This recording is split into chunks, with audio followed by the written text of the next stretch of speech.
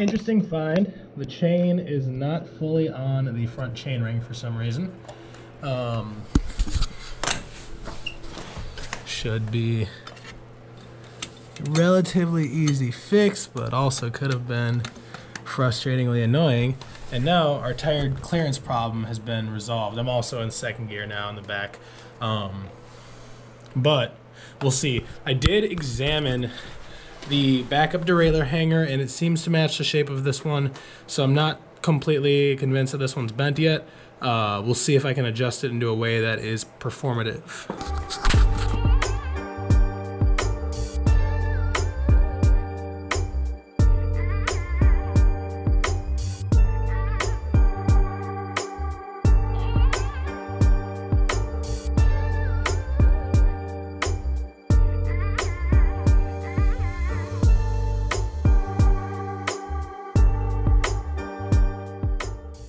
All right, I'm gonna do something that most of you guys who end up buying one of these and building one probably won't do, um, but you should, which is I'm going to take apart a big chunk of the bike and re-lube things, especially if you're planning on riding it in the winter. Um, don't ever trust the factory to put in enough lube, but then also, given that there's salt and stuff during that season of the year, you definitely want to make sure that you're at least covered in that regard.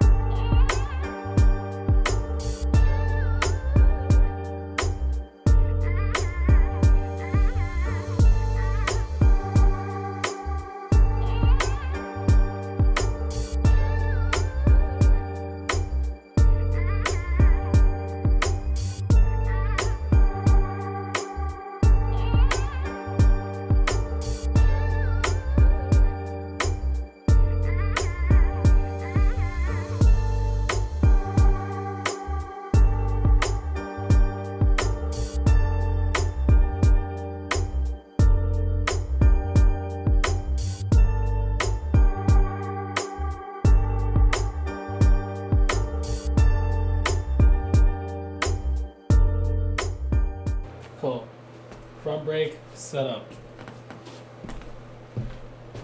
This many rules.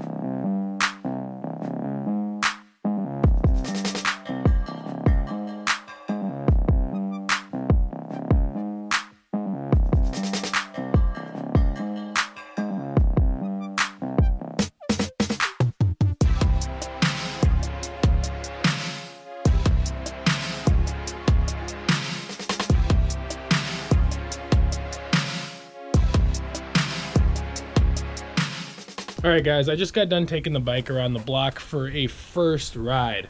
Now, I've got some strong first opinions, but I'm going to try to hold them because I'm going to ride the bike fairly stock for a month, give you guys a review on the stock bike after a month, and then I'm going to throw the upgrades that I want to on here.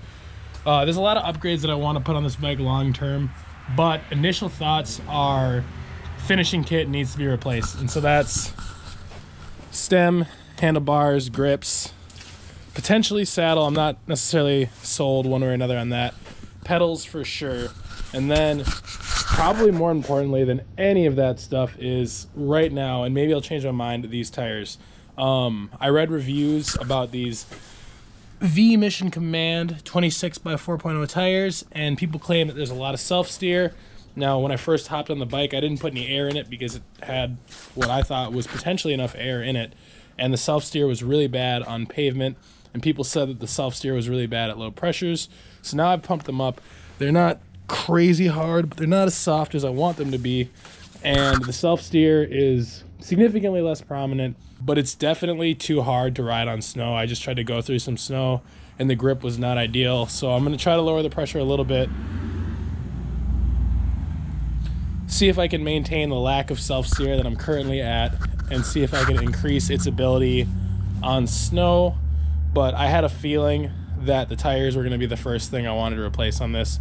Like I said, I'm going to hold the rest of my opinions and I'm going to confirm nor deny these opinions after a month. The only other major point of concern with this bike, as I mentioned earlier and in the unboxing video, is this rear derailleur. I adjusted the barrel adjuster. It's SRAM, so it's only got the barrel adjuster up here. So I turned it to the right all the way from when they gave it to me. I didn't adjust the cable tension or anything yet. I'm going to try to take a look at that tomorrow. But in the process of doing that, I did get the derailleur to clear the spokes. So there's no issues with any like derailleur getting ripped off type of situation happening.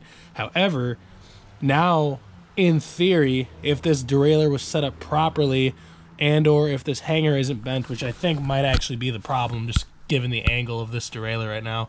Um, but if everything was set up properly, it should have zero issue getting into eighth gear, the highest gear, and it refuses to go past seventh gear right now. Um, theoretically, when this is all the way in, it should have no inclination to be in anything but eighth gear until you switch down to seventh gear because there shouldn't be any tension on the cable in eighth gear. Um, so that's going to require some in-depth analysis. I haven't messed with SRAM before, so we'll see. But that's my initial thoughts on the bike so far. If you enjoyed the video, you know what to do give the video a thumbs up, subscribe to the channel. If you want to see my long-term review of this bike, you're gonna have to give me about a month or so. Um, either way, I bought this bike. I'm gonna ride it through this winter, so you'll see lots of action with it.